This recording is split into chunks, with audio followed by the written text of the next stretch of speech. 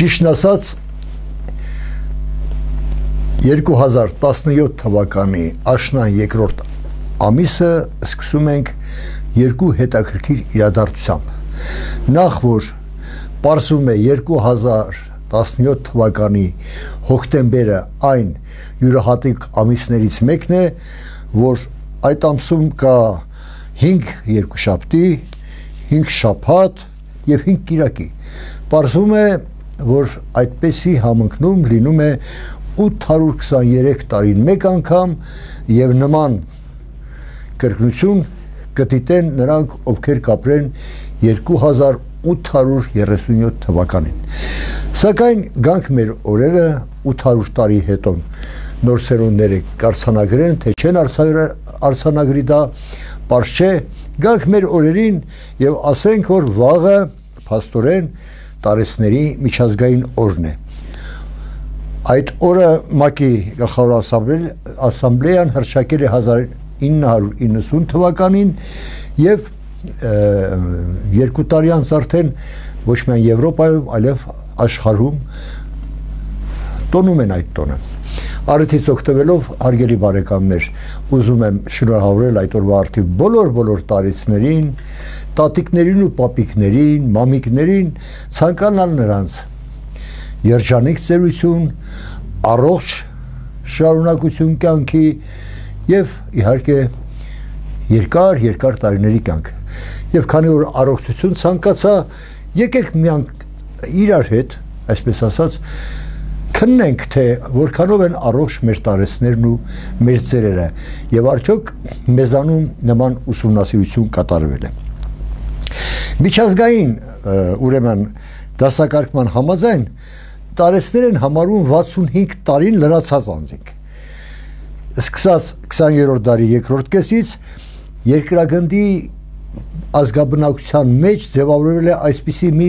հետաքրիր գաղափար, որ երկրագունդը գնում է դեպի ծերացում։ Ինչ ենք հասկանում բնակչության ծերացում ասելով։ Ըստ 20-րդ դարի լեհ շատ նշանավոր ժողովրդաբան Ռոսետի, եթե պետությունում 60 անց բարձր տարիքի բնակչությունը կազմում է 8%, ապա երկրի բնակչությունը համարում է երիտասարդ 8-ից 10%-ի դեպքում բնակչությունը գտնում է ժողովրդագրական ծերացման շեմին։ Բայց ահա, եթե 12%-ից ավելի լինում, ապա պարզվում է, որ տվյալ երկրի բնակչությունը արդեն համարվում է անխուսափելիորեն ծերացած բնակչության ծերացումից զեր չի մնում նաև Հայաստանը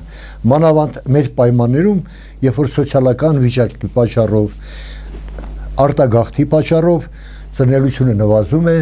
իսկ արտագաղթին որպես կանոն գնում են երիտասարդները, երկրում թողնելով ծերերին եւ տարեցներին։ Հիմնականում իհարկե արտագաղթում են, ասացինք, երիտասարդները։ Իսկ ինչ է կատարվում այն մարդկանց առողջության հետ, ովքեր մնում են երկրում։ Ներկայումս մեր հանրապետությունում դիտվում է ոչ միայն բնակչություն ծերացում, այլև ծերացած անձանց թվի տեմպի արագացում Ահավասիկ ես ուզում եմ ձեզ համար կարդալ թվեր։ Հայաստանի Հանրապետությունում 60 եւ բարձր տարիքի բնակչությունը մարդահամարի տվյալներով 79 թվականին կազմել է 8%, այսինքն երիտասարդ է եղել բնակչության հիմնական կազմը։ 89-ին արդեն հասել է 9.3%-ի։ 98-ին 12.5%-ի, արդեն անցել ենք այս սահմանը, ինչպես ասացի Լեհ ժողովրդագրագետը ասում էր, որ 12-ից 12-ից հետո ծերացում է սկսվում։ Եվ ահա ծերերի թիվը 2000-ին թվականին կազմել է 13.35%, մեծ թիվ է կազմել 2002 թվականին 14.13%, Կարծես թե բախտերս բերել է 2004 թվականին իջել է 13.74-ի, իսկ հա 2006 թվականի մեկի դրությամբ կազմել է ողջ բնակության 14%-ը։ 2006 թվականից հետո տվյալներ չկան։ Ես հակված եմ կարծելու, որ այդ տվյալներն այնքան էլ բարենպաստ չեն եղել, որ չկան, ինչ թվում է կան, պարզապես չի հրապարակվում։ Ինչ է կատարում, երբ որ տվյալ ժողովուրդը կամ տվյալ պետության մեծ մեծ թիվ են կազմում ծերերը եւ գնում է ազգաբնակություն ծերացման։ Նախ ավելանում են հիվանդությունները եւ դա բնական է։ Ձեր մարդը որպես կանոն սկսում է քիչ թե շատ մյուսների համեմատ ավելի հաճախակի հիվանդանալ, ավելի դանդաղաշարժ են դառնում, ավելի, այսպես ասենք, մրսկան են դառնում եւ եթե մենք քննել ունենք թե մեզանում այս վիճակում ինչ է կատարվում, կտեսնենք, որ մեծ մասամբ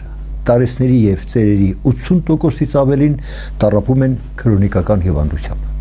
2005 թվականին, ինչպես ցույց է տալիս վիճակագրությունը, ամբողջ աշխարհում 58 միլիոն մարդ փաստորեն այդքան մահացածների 35 միլիոն ավելի քան 60% է բաժին է ընկել քրոնիկական հիվանդություններով տարապողներին նշանակում է որ աշխարհում եւս այդ խնդրեմը կա բոլորովին վերջերս անցած տարի Երևանում կատարվել է հետաքրիր մի հետազոտություն շուրջ 600 տարեցների եւ ծերերի հետ։ Պարզվել է, որ տարա, տարեց եւ ծեր տղամարդկանց միայն 10.5%-ն է եւ կանանց միայն 4.1%-ն է սեփական առողջությունը գնահատել լավ։ Բայց ահա վատ է գնահատել 6.3-ը եւ 23.2%-ը համապատասխանաբար։ Հետազոտության ընթացքում ողջվել է նաեւ ինչպես պնդում են հետազոտություն կատարողները միայն 7-9%-ն է անցել կանխարգելիչ բժշկական քննության եւ նրանք պնդում են թե բժշկի դիմել են քիչ թվով մարդիկ, որովհետեւ իրազեկված չեն եղել, որ ծերերի համար ուրեմն մեր համաբուժարաններում անվճար է բժշկությունը։ Իսկ մենք հո ձեզ հետ միասին գիտենք, որ դա ուղակի սոս խախք է, եւ չեմ կարծում թե նրանք իրազեկված չեն եղել, այլ պարզապես մարդիկ տեսել են, որ նյութական հնարավորությունները չի ներում, որքան էլ որ պետությունը որոշում է, որ ահա համաբուժարաններում պետք է անվճար լինի, այդուամենայնիվ նրանց գրպանը չի ներել թեկուս փոքրիկ շնորհակալություն հայտնել փոքրիկներ գիտեք ինչքան է լինում իրենց բուժող բժշկին։ Շարունակենք այդ տվյալները։ Տարեցների եւ ծերերի 14.4%-ը բժշկի չի դեմել կամ դիմել է խիստ անհրաժեշտության դեպքում։ Ինչպես ասում են, դանակը ոսկորին է հասել, ապա նոր դիմել են բժշկի։ Սա էլ մեր ուսումնասիրողները պատճառաբանել են սեփական, ես ուզում եմ ցիտել, համ, համարում են անտարբերություն սեփական առողջության նկատմամբ։ Գիտեք, սովորաբար Սերերը ավելի շատ են ուշադիր լինում իրենց առողջանը։ Եվ չէի կարծիր, որ այսպիսի մեծ տոկոս կազմող անտարբեր լինեն իրենց առողջության նկատմամբ։ Պարզապես ելի ու ելի այստեղ վերջախոս է սոցիալական վատթարագույն վիճակը։ Պարզվել է, որ տղամարդկանց միայն 37.2%-ը եւ կանանց միայն 24.1%-ն են իրենց իրենց համարում ակտիվ հասարակական հասարակական կյանքում ակտիվ անդամ եւ այլն եւ այլն այստեղ ինձ մոտ բավականին շատ տվյալներ կան ես պարզապես ուզում եմ նաև երկու տվյալ հիշել չձանձրացնելու համար ձեզ հոսպիտալացման բնույթը դիտարկելիս հետազոտողները ողրզել են որ առաջնային ուրեմն օգնության ուղեգրով ուղեգրով բուժվողները կազմել են 30% տարեցների եւ ծերերի եւ մեծ մասը նրանցից 34% դիմացների ինքնակամ են գնացել։ Այսինքն դարձյալ տարբերակ չի եղել։ Հետաքրքիր է շտաբուժողության օգտվելուց տարեսների տոկոսը, թե ինչ օգնություն են ցույց տվել շտաբուժողության աշխատողները։ Պարզվում է, որ մեծ մասամբ շտաբուժողության աշխատողները կանչերին գնացել են ցավազրկող, ճշումը իջեցնող, սա ախր փաստեր են, որ պետք է տվյալ երկրի առողջապահությունը արդեն խիստ ուշադրություն դարձնի թե ինչ պետք է անել, որ մարդկանց քրոնիկական հիվանդներին կարողանա մի քիչ գոնե ավելի կյանք ապարգևել։ Տեսնելով այս տվյալները, այնուամենայնիվ ստուգողները եկել են այսպիսի եզրակացության, ես մի փոքր կարդալ ձեզ համար։ Այսպիսով հետազոտության արդյունքում կարելի է արձանագրել, որ բնակչության ծերացման պայմաններում տարեցների եւ ծերերի բժշկ կա սոցիալական օգնության ներկա միմյանցից տարանջատված մոտեցումները պակաս արդյունավետ են։ Շատ ճիշտ է ասում։ իսկապես պակաս արդյունավետ են։ Եվ տվել են գործնական առաջարկություններ ստեղծել կյանքի եւ որակի բարձրացման, առողջ ծերացման ու բարեկեցիկ ծերության երաշխիքներ եւ այլն եւ այլն, որոնք ավելի շատ հռետորական են։ Կան իհարկե նաև առաջարկներ, որոնք կոնկրետ վերաբերում են տարեցների եւ ծերերի բժշկական սպասարկումը բարելավելուն, սակայն դրանք ցավոք միջև այսօր էլ մնացել են թղթի վրա։ Եվ միակ բանը, որ այսօր արվել է հոգուտ տարեցների եւ ծերերի, թերևս այն է, որ երկու օր առաջ վարչապետը պարզապես կառավարությունում հանրարարական տվեց տարեցներին աշխատանքով ապահովելու։ Դա իհարկե հանուն տարեցների չի, այլ այն բանի, որ գործազրկություն է։ Ուրիշ էլ ինչ անեն բա։ Մարդիկ չեն կարողանում յոլա գնան։ Եթե իմ տարիքի մարդիկ հիշում են, ապա մեր պապիկներն ու տատիկներն էին թորնիկներին փող տալիս կոնֆետ գնելու, կոշիկ առնելու եւ այլն եւ այլն։ Այսօր ընդհակառակն է։ Խեղճ պապիկ տատիկները սպասում են թե երբ թորնիկը իրենց մի քիչ փող կտա, որ թոշակի հետ յոլա գնան։ Եվ եթե նայում եք այս բարեփոխումներին